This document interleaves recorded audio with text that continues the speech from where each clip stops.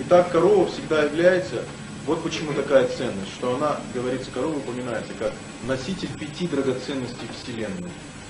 И вот эти пять компонентов в корове, я уже не говорю о твороге, о сметане, как она описывается, и корову аюрведа называют аптека. Если у вас есть корова, вам не надо никаких лекарств больше, вообще.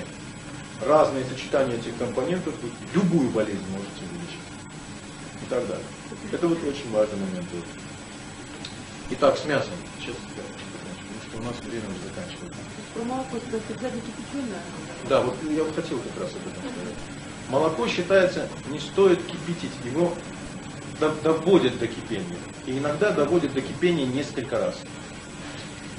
Несколько раз. А если у вас корова здоровая, хорошая, сейчас же вы знаете, да, болезни коров разные, если у вас точно здоровые коровы или есть какие-то знакомые, то, несомненно, самое лучшее молоко какое? Парное, да, теплое. И не очень благоприятно, поскольку снижается эффект воздействия на организм, тонкий, вот этот тонкий, если вы пьете слишком холодное молоко.